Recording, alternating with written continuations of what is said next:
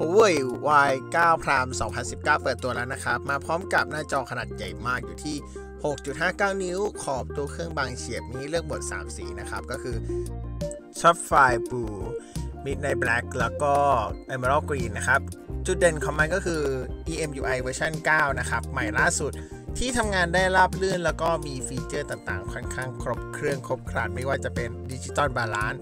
การปรับ เรื่องเกี่ยวกับการส่งข้อมูลที่เร็วนะครับ ผ่าน Huawei Share 2.0 และยังมีเทคโนโลยีอื่น ๆ อีกมากมาย ส่วนสเปคที่เหลือนะครับ ก็ใช้ CPU Kirin 710F ใหม่ล่าสุด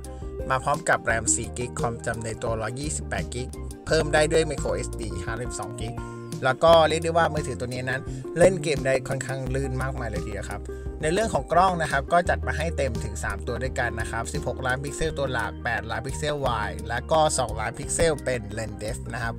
ลูกเล่นต่างๆของกล้องนะครับ ก็ยังคงเป็นแบบเดียวกับตัวหัวเว่ยทั่วไปนะครับ มี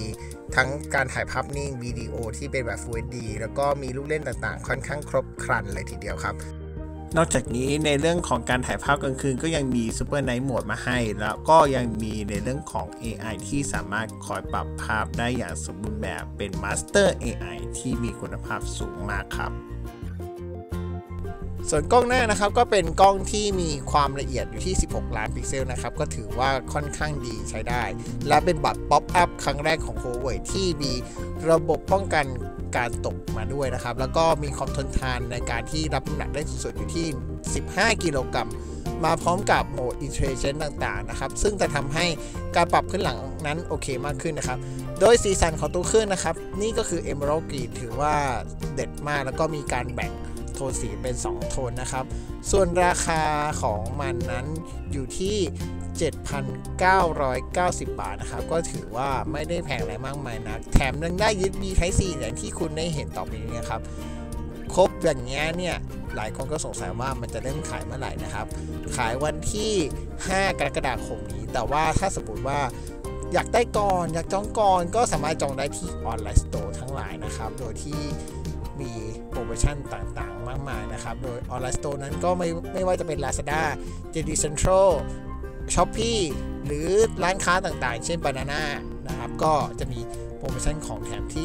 แตกต่างกันออกไปนะครับ นอกจากนี้ Huawei ยังมีการแนะนำตัวของ FreeLace นะครับ ก็คือหูฟังแบบไร้สายที่เรียกได้ว่าไม่ว่าคุณจะม้วนแบบไหน มันก็จะกลับมาคืนที่เดิมเหมือนงูนะครับ รูปทรงนั้น ก็เป็นดีไซน์แบบนี้ แล้วก็จุดเด่นก็คือชาร์จไฟด้วย USB Type C ถ้าชาร์จอยู่ก็สามารถฟังเพลงได้อย่างต่อเนื่องนะครับ รูปทรงสวยงามอย่างนี้มีราคาที่ 2,490 บาท มีเลือก2สี สีดำแล้วก็สีส้มอย่างที่คุณเห็นนะครับส่วนอีกชิ้นหนึ่งก็คือลำโพงนะครับ เป็น mini speaker จุดเด่นของมันก็คือ เราสามารถที่จะใช้งานมันแบบคู่ได้นะครับ แล้วก็มีสีให้เลือกทั้งสีดำแล้วก็สีเขียวอย่างที่คุณเห็นนะครับ